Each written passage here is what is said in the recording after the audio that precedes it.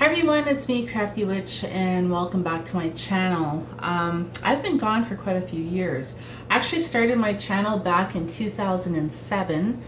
Uh, can't believe it's been 10 years. Um, and at that time, I mean, I had a crappy webcam. I had different crappy webcams and was making videos. And it's not like the way people make videos nowadays. You go onto YouTube now and they got like professional equipment and lights and backdrops and all kinds of shit.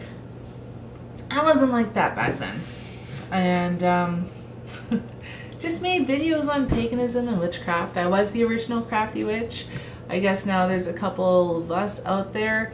Um, and that's fine, no big deal, right? It's not like I own the name to it or whatever. Um, it was just a handle that I had been using since like the 90s actually. And, uh, but anyway, so I made videos for a few years, all different kinds of videos. And you can look through my channel. I got like really old, crappy videos out there. Um, on all kinds of stuff and it was great. I even taught uh, some courses through an online metaphysical college on things like magical herbalism and whatnot and I I really enjoyed making videos. I enjoyed sharing what I could with people. Um, made some friends in the process, some lifelong friends. It's been awesome. And then tragedy, you know, kind of crept into my life and and I know I made videos, oh gosh, I think the last ones I made, and I could be wrong, I'm thinking it was around 2012-ish, maybe. Um, but, uh, yeah, so in 2009, October 2nd, 2009, my dad passed away. Had to take him off life support. And that for me was so crippling and sent me into this horrible abyss of um, sent me to a very dark dark place. No i did not use drugs. No i didn't turn to alcohol but i went into such a dark dark place. And it wasn't like maybe it was depression i'm not sure but it was it was bad. Like I was numb. I was he was my hero and he was my dad. He was untouchable and how could this happen to him? And the fact that you know, we had to meet with the neurologist and take him off life support. I felt like I killed my father. I felt like I had a hand to play in his death and like I murdered him and he died with his eyes open. And that just i remember and i could still see to this day um, his face with his eyes open staring at the ceiling. Like it, it just wasn't good. So from there um, shortly after my dad died now this would have been he died in beginning of october 2009 in november late late november um, i met somebody one word of advice. If you ever you know lose anybody significant to you don't get involved in any kind of relationship afterwards. It's just not a good idea. It's just not good. So anyway i'm very much an alpha female. He's very much an alpha male. And at first it was nice. It was nice to be able to kind of sit back and let somebody else take charge. Let somebody else make the decisions. Let somebody else take the lead. And at first it was nice. I mean, I had been divorced for umpteen years, um, raising my boys on my own. And at the time, it was kind of a relief. It was kind of nice. Like, it was kind of like, okay, I can just kind of relax a little bit and things will get handled. He'll handle it. And that was the beginning of a four year abusive relationship that was extremely difficult to get out of. Like, it was so bad. Like, he threatened my life, he threatened to kill my kids. It was horrendous. And went to the cops, and not much was being done, and all kinds of crap. And it took four years to get out of that. And it was just horrible. So, from that point on, that was in 2009, the later part of 2009. Fast forward to 2010, um, seven months to the day that my dad died, my stepmom died in a freak accident. She died May 2nd, 2010. And it was just another blow. I mean, this woman had been a part of my life for like over 20 some years, like 25 years or something. And it was like she was another mom to me. And oh my God, she's dead. And the way she died was horrific. And it was just horrible. So there was that. And then the following year, um, then what happened? Oh, later that year, then, you know, my uncle died. And then the following year in 2012, an aunt died and a cousin died, or my cousin's um, wife died, um, all in a short period of time, kind of thing. And then 2013 rolls around, and there was my mom. And then I lost her. And then she died. So it was like all the people that held a very significant role in my life, my teachers, my guides, they they my parents were my best friends. Um, and even like with the the older people that passed away and then even just this past year, well 2016, um, my other aunt had passed away, but aside from that, um, up until like 2000 and December 2013 or whatever. It was just this horrendous kind of nonstop cycle of death that was occurring. And it seemed like anybody that meant anything to me, um, that I looked up to as like a guide, a teacher, somebody I learned from, they were all kicking the bucket. They're all dying. They're all leaving. And it was like, what the fuck is going on? Like, I can't cope with all this and it was really really bad um, losing my dad was really bad but then when it came to losing my mom in 2013 that that was it i went from with my dad i was like like in this black fog like drowning in the black sea kind of thing where you can't see what's going on around you you can't see anything, everything's just black, and you're just drowning in this black water. That's the closest I can describe to it. There was no light, there was just pure darkness everywhere. Then, when I lost my mom, oh my gosh, that I went into um, with my dad. I didn't go through the whole anger thing kind of thing. I just went into the that place, that dark, dark place. With my mom, I went straight to rage. I raged. I hated the world. I hated everybody.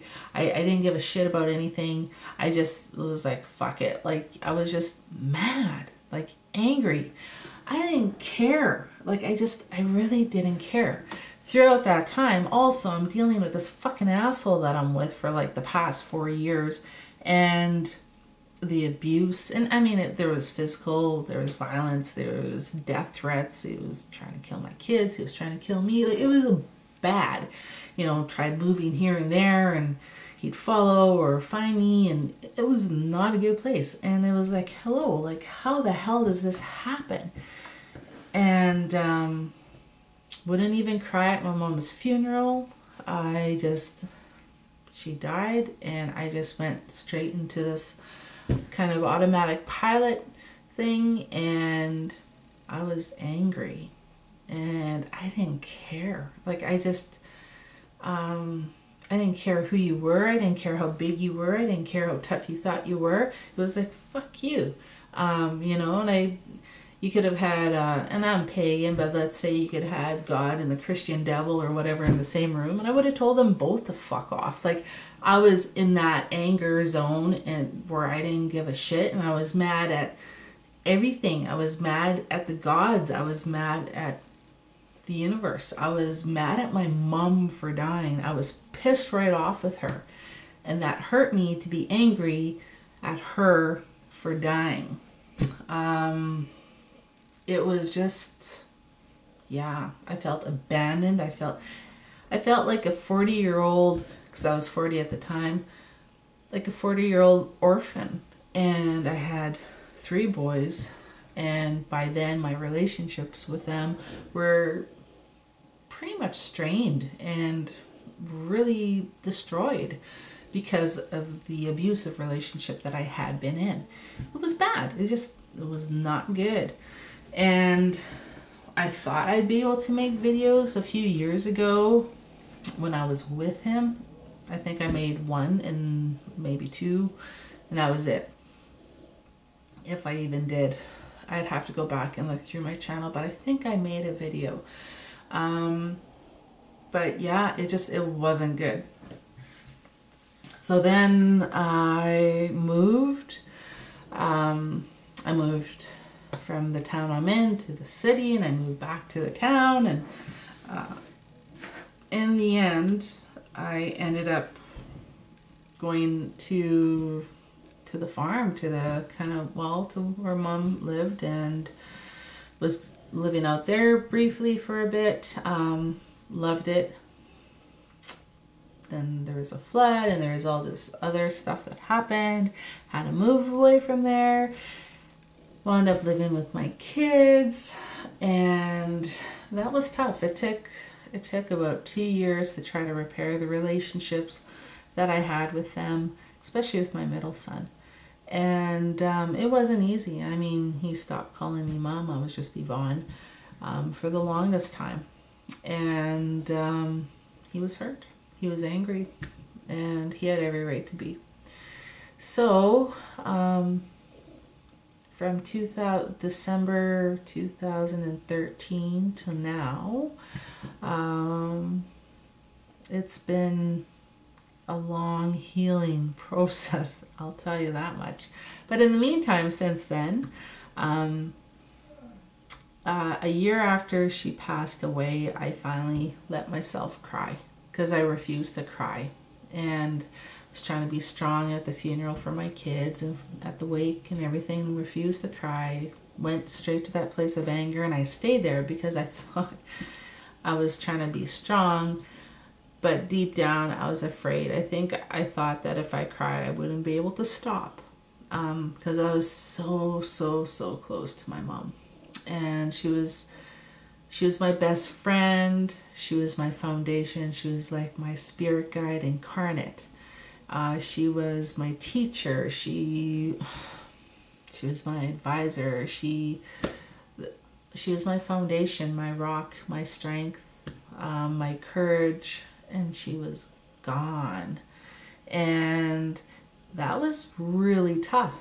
So then, um, about a year after, so in 2014, I finally came to terms with her death and went through the whole mourning process because I just I stopped where I was and I just stayed in the whole anger phase. And then from there, um, got into Reiki, um, went on that journey, became a Reiki master, uh, and just started to come into my own, I guess you could say. Part of my resistance and part of my anger was yeah i felt abandoned and all that kind of stuff. But at the same time my mom was our matriarch. She's gone. That means i move up into that position and i was not ready for that. I was not ready to be the matriarch of the family and even my my middle son who we had that really strained relationship, um, even he said, Mom, well, at the time he didn't say mom. He was like, You are now the matriarch of of our family.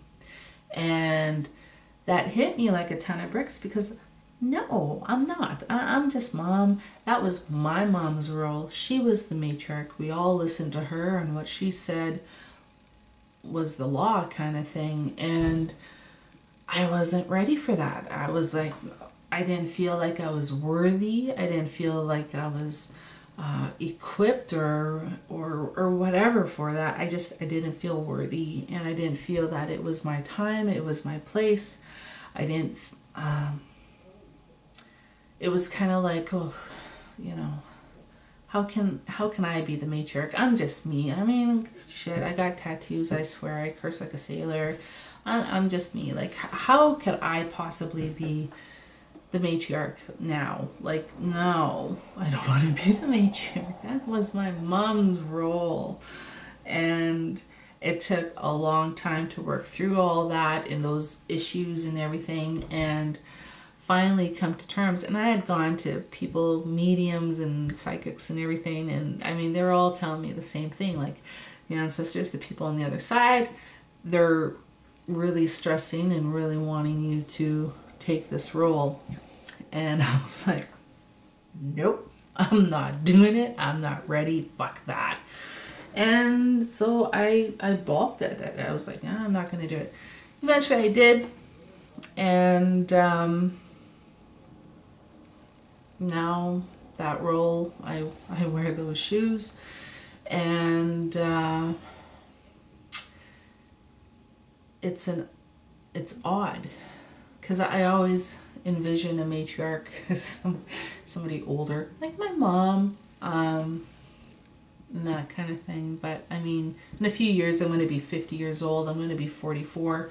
So in six more years, I'm going to be 50. So I'm getting up there. It's not like I'm this young spring chicken anymore. So I don't know.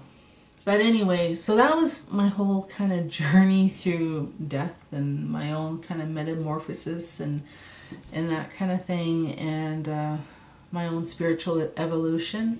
I'm no longer angry at the universe or the gods or the powers that be or, or anything like that. I work through all that. And in some ways, I can really relate to the goddess Persephone, um, you know, kind of going into the underworld and and I can relate to her mother grieving the loss of her daughter, but the roles are kind of reversed. I was the daughter grieving the loss of my mother, blah, blah, blah. Um, so, yeah, and I really connected with uh, different goddesses like Hecate and Morrigan and um, really connected with the darkness that's within me and within the universe. And um, often our focus is so much on the light, right? And the the positives and that we we look at darkness as something to be feared, as something evil, and it's not. Darkness was our first home. The womb was darkness. There was no light in the womb. It was darkness. We could hear our mother's voice. We could, you know, hear the you know, her talking and uh, all that kind of stuff. But we came from darkness. And when we die, if we're buried, we return to darkness. You know, we get buried in the earth or, or whatever kind of thing. For those of you that get buried, um, it, it's not this evil place, it's our shadow side. And I think I had been forced to, in a very abrupt and severe manner, come to terms to embrace my own shadow side and my own darkness. And now I do feel that I walk in balance with light and dark within me. And not many people go there. They might pay lip service to it and say, oh, yeah, you know, you need to embrace all that you are and blah, blah, blah. But not many people actually really do that kind of soul level work where you actually you go to the deepest darkest parts of you the parts of you that would scare other people away. And you really work with your shadow side. Not a lot of people do that kind of soul work. And it can be scary. It's liberating it's freeing and there is a warmth within the darkness as well that a lot of people think of darkness as being cold and this horrible thing, but it's not. Um, it, there's a balance there, and uh,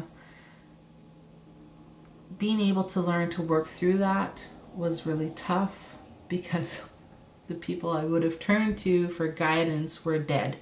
And so I had to work through that alone and on my own and uh, reconnecting with my ancestors, reconnecting with the gods, and uh, came out of it pretty good. so here I am, I'm alive, so that's a good thing. But anyway, yeah, that's kind of where things are at. So I know this is a long rambling video and I apologize. But you know, that's that's me. You don't like it, don't watch it. Plain and simple. So anyway, I am going to be making more videos and uh, kind of getting back into the whole swing of things again. I hope. Um, do you guys have any ideas for any videos? Like, I mean, it, it feels like I've covered so much years ago that what could I possibly say now that can be said that hasn't already been said by a hundred other people in a hundred other ways or a thousand different ways. Um, I don't want to regurgitate the same kind of shit that everybody else is posting videos about. At the same time, maybe I might have a different spin on it than they would anyway. I don't know. I might be too vulgar for some of you, and that's fine. Um, what you see is what you get. Yeah, I'm chunky, I'm old, and I got tattoos, and I swear lots, and that's who I am. And if you don't like it, don't watch the videos. If you want to waste some time and watch some videos, maybe you might learn something, maybe you won't. Maybe you can take something from it and twist it up and make it your own. Hey, all the more power to you, right? So that's where things are at. I'm still Crafty Witch. And I'm still the same, but I've changed. I'm different. But like in a cool, kind of awesome way now. Anyway, we'll talk to you guys later. Ciao.